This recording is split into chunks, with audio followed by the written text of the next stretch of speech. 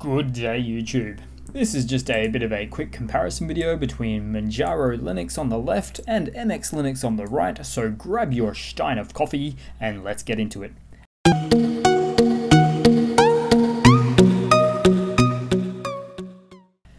Okay, so starting off, we have Manjaro Linux, the default desktop environment XFCE on the left, and also MX Linux 19.3 on the right, also the default desktop environment, uh, XFCE, so a pretty good comparison, these two really to say there.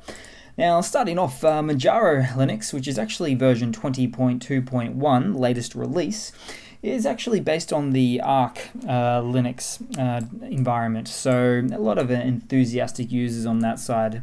On the right hand side, we have the uh, MX Linux, which is actually based on uh, Debian. So a very stable branch or version of Linux there, you could say.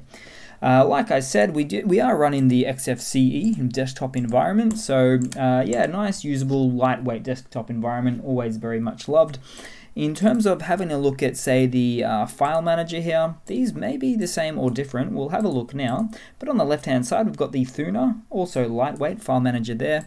On the right hand side, it's also Thunar there as well. One uh, couple of uh, distinct difference you'll see there is actually just the uh, the color, coloring and slight layout. It is a little bit more customized on each side to the to the color themes of each uh, uh, desktop respectively there as well.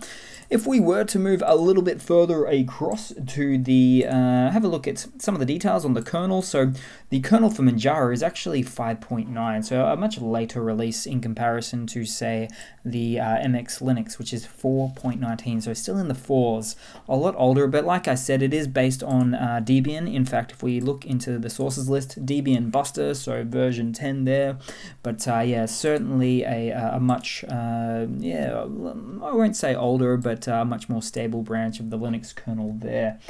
Uh, moving on, if we have a, a, little bit of a look at the uh, the RAM usage for each of these, we will find that, uh, so these are really booted up from scratch, nothing really in the background there. A couple more threads on the Manjaro side over the uh, MX Linux side there, and we're running at about 540 megabytes of RAM straight on boot up there, whereas as you might expect on the MX Linux side of thing, really, really lightweight here, 480 megabytes of RAM on boot up, so really, really nice to see there as well.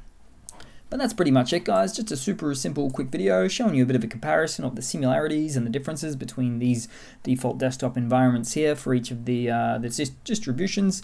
Thanks for your time, yeah, thanks, uh, yeah, please leave a comment, subscribe, all of that. I enjoy the community, uh, you guys reaching out to me there, so um, yeah, I hope to see you guys there in the next one. Ciao.